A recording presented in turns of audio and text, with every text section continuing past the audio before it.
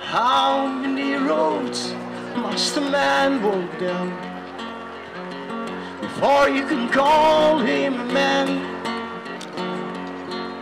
And how many seas must a wider sail Ik ben beginnen sleeps? eh, toen ik op een bepaald moment was ik 56 en ik ben failliet gegaan. Ik was zelfstandig. Ik had geen werk meer. En eh, ik had echt geen optie voor eh, iets eh, nieuwe werk te vinden of een nieuwe carrière te bouwen op 56 jaar. Dat dat. Maar, maar ik speelde al muziek al jaren voor vrienden en thuis en zo. En ik heb besloten voor op straat te beginnen spelen. Eh, als straatmuzikant in het begin was het een hele harde beslissing, omdat ik dacht, ja, hoe gaan de mensen reageren, mijn familie reageren en zo. Uiteindelijk heb ik dat een hele, hele, hele goede besluit. Want ik heb dankzij dat veel vrienden bijgemaakt.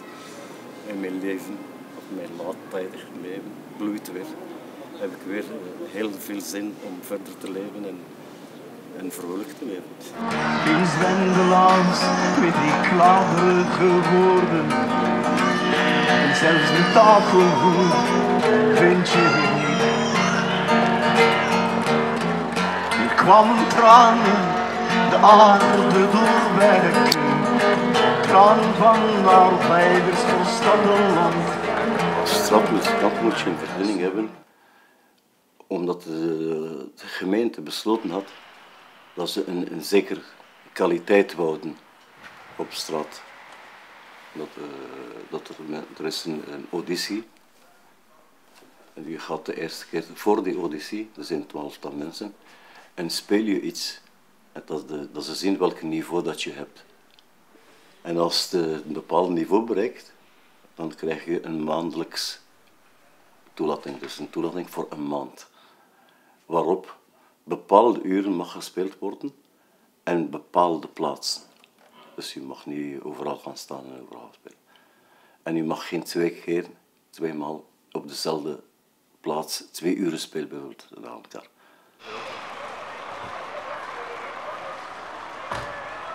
We wonen nu in Molenbeek, eh, sinds tiental jaren. En hetgeen wat er vorig jaar op 22 maart gebeurd is, was dat een grote shock eh, voor ons als eh, bewoners, als ouders, als geburen. Wij, wij begrepen daar niks van. Dat we in één keer zo'n slechte faam kregen en dat we beschuldigd waren van een of ander fanatisme, wat feitelijk helemaal niet waar is. En voor al die redenen hebben wij op 22 maart de openingsdatum eh, genomen, omdat het ook een symbool gaat zijn van het positieve van Molenbeek.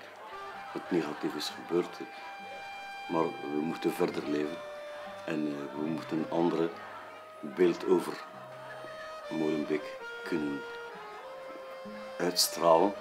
Ik heb een klein liedje van de week gemaakt over Molenbeek. Een hartje Molenbeek, liet ze me. Voordat ik het verstond, lag ik plat op de grond.